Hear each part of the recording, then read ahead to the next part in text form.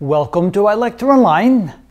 Well, there happens to be a very distinct difference between two sets of Cepheid variables. The traditional Cepheid variables, which are now known as type 1, and a new set of variables which were discovered, let's call them type 2. Well, not us, they're called type 2 Cepheid variables. So what's the difference between them?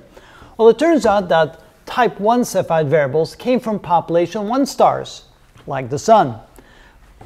Type 2 Cepheid variables came from population 2 stars. Now, population 2 stars tend to be older stars, and population 1 stars tend to be younger stars. And younger stars had more of an opportunity to accumulate heavy materials that were the leftovers from supernova explosions, where all those heavy elements were produced in those massive explosions.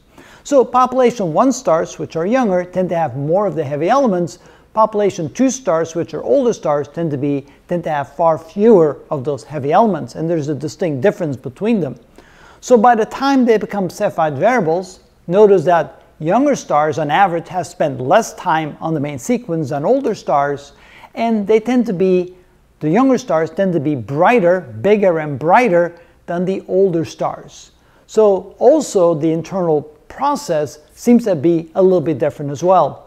So when we try to chart the period of these type 1 versus type 2 stars on the, on the period versus luminosity diagram, and of course this is our luminosity, and that what we find is that the type 1 type 1 Cepheid variables tend to be brighter than the type 2 Cepheid variables.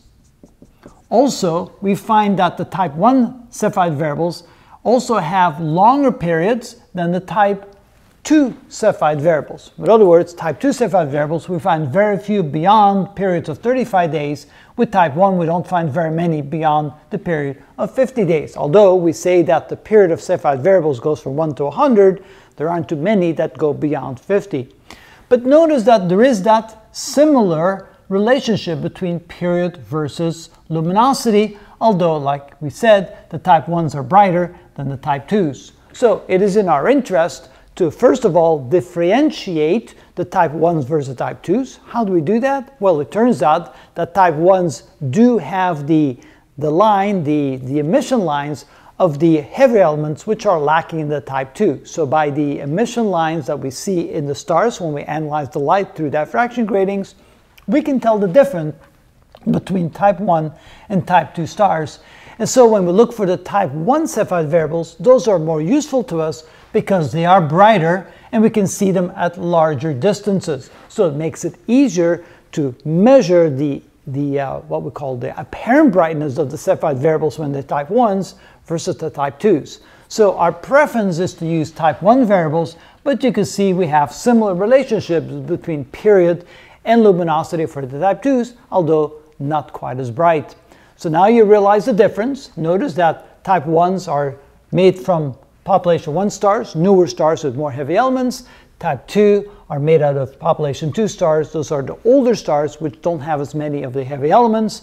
And it turns out that popula population 1 stars tend to be brighter as Cepheid variables and therefore more important the ones we tend to use. And that is how it is. Is that a wrap for tonight? I Hope so. All right. Good enough for today. Thank you. Whew.